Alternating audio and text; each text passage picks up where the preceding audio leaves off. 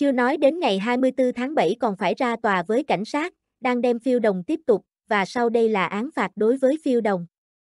Phiêu đồng sướng nhá, đang ăn mừng bởi bị lệnh phạt án treo 18 tháng, nhớ kêu đám kền kền, đưa tiếp tiền đế tiếp tế cho Vương Phạm kiện tiếp và dĩ nhiên vụ kiện dân sự là Vương Phạm sẽ thắng, phiêu đồng sẽ tha hồ trả tiền tiếp tục, vô cùng sung sướng, sĩ Phụng Đồng hay còn gọi là phiêu đồng phạm tội khinh thường tòa án dân sự vì cố ý vi phạm các điều khoản trong lệnh tạm thời của ông quan tòa bờ rong g đưa ra vào ngày 4 tháng 6 năm 2022. Tòa án theo đây tạm dừng việc tuyên án để chờ sĩ Phụng Đồng hay còn gọi là phiêu đồng, phải hoàn thành xuất sắc thời hạn quản chế 18 tháng, kiểm soát, 2.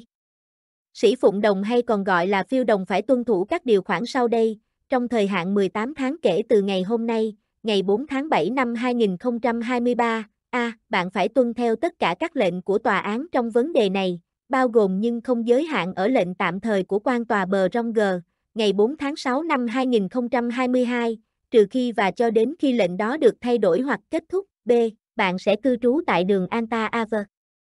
Abofo, British Columbia, và bạn không được thay đổi nơi cư trú của mình mà không có sự chấp thuận trước của tòa án.